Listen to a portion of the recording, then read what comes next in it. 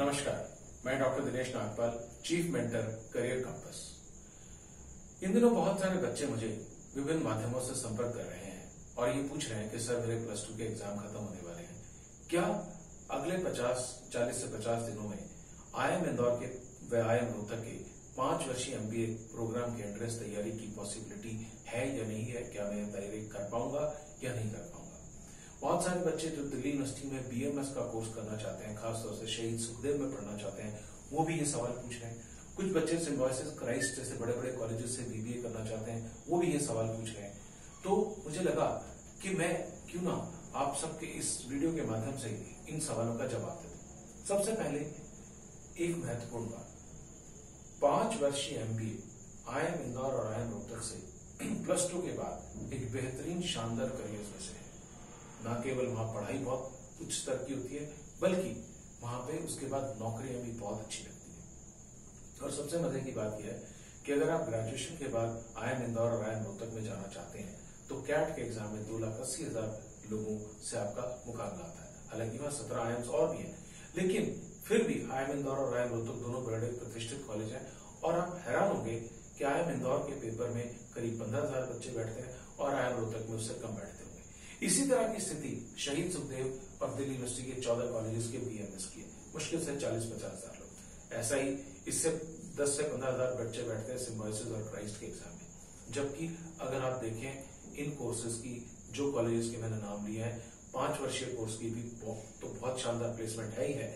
BBA और BMS की भी बहुत शानदार प्लेसमेंट है। इसलिए बहुत अच्छी करियर अपॉर्चुनिटी है। अब सवाल यह है, वे जवाब, क्या 40 से 50 दिनों में आईएम इंदौर और आईएम रोहतक के और या पीएमएस के, क्योंकि लगभग एक से अच्छा सिलेबस है सबका। क्या इसकी प्रवेश परीक्षा की तैयारी संभव है या नहीं है? इसका उत्तर बिल्कुल सिंपल है हाँ और ना। हाँ क्यों? अगर आप मेहनत करने को तैयार है if you really ready to work hard you will put in your best आप थोड़ा रीजनिंग लॉजिक लगाएँ अपना और दिमाग लगाएँ। ये समझें कि एक साधारण बीकॉम से कुछ नहीं होने वाला बीकॉम बी से एक प्रोफेशनल कॉलेज में पढ़ना एक अलग चीज़ होती है। और आयन, रोहतक और इंदौर तो हमारे विश्व विख्यात कॉलेजेस में से एक है। तो हाँ क्यों? देखिए, उसके लिए सबसे पहले मैं आपको एग्ज़ाम का पैटर्न समझाता हूँ, फिर आप समझाता हूँ कि हाँ क्यों है और ना क्यों है। ना उन बच्चों के लिए है जिनको लगता है कि हमने प्लस टू में बहुत मेहनत कर ली, बहुत पढ़ाई कर ली, और अब हम सिर्फ़ थोड़ा बहुत हल्की फुल्की तैयारी करेंगे कोचिंग क्लास अटेंड करेंगे और घर पर आकर बिल्कुल नहीं पढ़ेंगे, और जो होगा, होता रहेगा। तो आप कृपया बिल्कुल मत सोचिए कि आपका सिलेक्शन हो सकता है। सिलेक्शन किसका होगा? जो उतना ही मेहनत करने को तैयार है, जितनी की उसने प्लस टू के पेपरों में की थी, या शायद उससे कुछ ज़्यादा। और चूँकि ये तैयारी बिल्कुल अलग है आपके प्लस टू के पेपर से तो इसलिए और भी आपको समझ कर और संभल कर चलने की ज़रूरत है। अब आइए देखते हैं आईएम इंदौर का पेपर आता कैसा है। आईएम इंदौर का पेपर दो घंटे का एक ऑनलाइन टेस्ट होता है। जिसमें दो सेक्शन रहते हैं। पहला सेक्शन 60 क्वेश्चंस का होता है, जो कि क्वांटिटिव एबिलिटी यानी कि school mathematics data interpretation reasoning इनको मिलाकर ये 60 क्वेश्चन का सेक्शन बनता है। 40 क्वेश्चन इसमें इंग्लिश से संबंधित आते हैं, जो रीडिंग कॉम्प्रीहेंशन ग्रामर वोकेबलरी सारे के सारे ये multiple choice objective type question है और वन फोर्थ नेगेटिव मार्किंग है। एक क्वेश्चन के लिए चार नंबर दिए जाते हैं, यानी कि 400 मार्क्स का पेपर होता है। अब पिछले साल की कट ऑफ़ क्या रही? पिछले साल जिन बच्चों के लगभग 240 से 50 के बीच में नंबर थे, उनको इंटरव्यू के लिए कॉल आ गई थी दो सौ पचास पचपन के बीच में बच्चे फाइनली आईएम इंदौर में सेलेक्ट भी हो गए थे।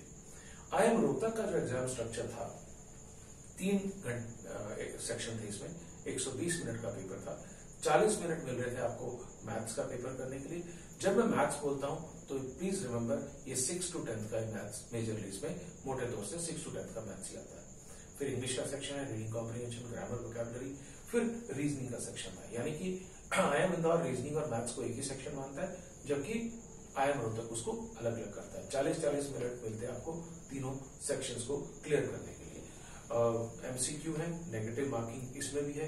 जितने भी ऑब्जेक्टिव टाइप क्वेश्चन पेपर्स होते हैं, उन सब में नेगेटिव मार्किंग आमतौर पर रहता है। डी यू जैट जो बीएमएस के लिए बैचलर ऑफ़ मैनेजमेंट स्टडीज़ जो कि बहुत प्रतिष्ठित कोर्स है उसके इंटरेस्ट में चार सेक्शन होते हैं क्वांटिटेटिव टेक्निक के 25 क्वेश्चन और रीजनिंग के 25 क्वेश्चन जनरल इंग्लिश के 25 क्वेश्चन और बिज़नेस और जीके के भी अवेयरनेस के भी 25 क्वेश्चन होते हैं। सबके, सब क्वेश्चन टोटल कुल 100 क्वेश्चन हो गए और चार नंबर का एक क्वेश्चन है। अब आता है सिम्बॉयसिस और प्राइस के ऊपर। सिम्बॉयसिस और प्राइस का एग्ज़ाम स्ट्रक्चर भी लगभग बीएमएस की तरह है, जिसमें कि रीजनिंग इंग्लिश मैथ्स और जनरल अवेयरनेस का सेक्शन है। अब इसकी तैयारी कैसे हो? पचास दिन में कैसे संभव है? देखिए अगर आपका मैथ्स बेसिक ठीक है आप मैथ्स में बहुत खराब नहीं है आपका नाइन्थ टेंथ का मैथ्स अच्छा है इलेवन ट्वेल्थ के एक दो टॉपिक्स आपने ठीक से किए हुए तो तैयारी पॉसिबल है। मैथ्स में आता क्या है? नंबर सिस्टम अरिथमेटिक का मेजर पार्ट होता है time speed distance ratio proportion averages percentage ठीक है? आ, फिर डीआई का कुछ हिस्सा रहता है बार ग्राफ पाई चार्ट ये सब आपने स्कूल में किया बस फ़र्क है? वहाँ पे आप सवाल सॉल्व करते थे यहाँ ऑब्जेक्टिव टाइप है तो अगर आप सही मायने में, जैसे हम लोग क्या करते हैं, हम आठ आठ घंटे प्रतिदिन की क्लास लेते हैं तो हमारा ये कोशिश रहती है कि हम मिड अप्रैल तक सिलेबस को खत्म कर देते हैं, जबकि पंद्रह मई के लगभग पेपर होना होता है आयम इंदौर और आयम रोहतक का। और दिल्ली यूनिवर्सिटी का तो पेपर जून में जाकर होता है थर्ड संडे ऑफ़ जून तो तब तक तो काफ़ी टाइम बच्चे को मिल जाता है। तो अगर आपका बेसिक मैथ्स ठीक है, आपको एक अच्छा फैकल्टी मिलता है अच्छा टीचर मिलता है, जो आपको अच्छे से पढ़ाता है, खूब प्रैक्टिस कराता है, मुझे नहीं लगता कि किसी भी बच्चे को इस मैथ्स के सेक्शन में दिक्कत होनी चाहिए। इंग्लिश का सेक्शन क्या है? Reading comprehension grammar vocabulary reading comprehension किस तरह की? दसवीं और बारहवीं में जो सीबीएसई e के आपके पैसे जाते थे, उस लेवल की रीडिंग कॉम्प्रीहेंशन है। ग्रामर आप सबने पढ़ी है। हाँ एक सेक्शन है जिसपे काम करना पड़ता है, वो है वोकैबलरी और अगर आप अगले डेढ़ महीने में रोज पाँच सात शब्द भी नए सीख लें तो भी काफ़ी होता है। हम लोगों के पास ऐसी लिस्ट होती है, जिसमें हमें पता रहता है कि किस तरह के वर्ड्स एग्ज़ाम में पूछे जाते हैं। अगर आप उस लिस्ट को अच्छे से पढ़ लें तो कोई समस्या इस सेक्शन में आती नहीं। अब रही बात रीजनिंग रीजनिंग एक बेसिक सा इलाका है। रीजनिंग में कुछ ही टॉपिक्स हैं। बार ग्राफ बार बार माफ़ कीजिएगा। कोडिंग डिकोडिंग है सेटिंग अरेंजमेंट है पजल्स है। अगर आप उसके क्वेश्चन को ध्यान से पढ़कर, उसकी लैंग्वेज को पकड़ लें तो आप और उसके बाद में प्रैक्टिस करें तो कोई सवाल ही पैदा नहीं होता। यानी कि मुख्य बात यह है कि आप रिलैक्स ना हो, तुरंत आप अपनी क्लासेस स्टार्ट करें। क्लासेस स्टार्ट करें, जैसे आपकी पहले चार घंटे की क्लास होती है, फिर हम लोग मुझे जो है आठ घंटे क्लास करते हैं। आठ घंटे क्लास करने के बाद ये नहीं है कि आप घर जाकर रिलैक्स हो जाए कि मैंने आठ घंटे आज क्लास पढ़ लिया कोचिंग में तो मैं आराम से रिलैक्स करूँ। No you need to go home take some rest and at least revise जो आपको कराया गया फिर अगला, जैसे आपका सिलेबस खत्म हो जाता है तो सबसे महत्वपूर्ण चीज़ है जिस पर हम बहुत फोकस करते हैं that is a mock test यानी कि आईपीएम का पेपर आएगा कैसा? आईएम रोहतक का पेपर आएगा कैसा? बीएमएस का पेपर आएगा कैसा? सिम्बोसिस बीबीए क्राइस्ट बीबीए का पेपर आएगा कैसा? ये मॉक टेस्ट हम कराते हैं। बहुत इंपॉर्टेंट है कि आप उन मॉक टेस्ट को ईमानदारी से दें और उसका एनालिसिस करें। जिन जिन इलाकों में आपको प्रॉब्लम आ रही है, उन पर वर्क करें। किसी भी एंट्रेंस टेस्ट का एक सिंपल सा असूल है S square equal to W square यानी कि strengthen your strength and weaken your weaknesses जो बच्चा इस बात को समझ गया, हमारे पास ऐसे सैकड़ों उदाहरण है।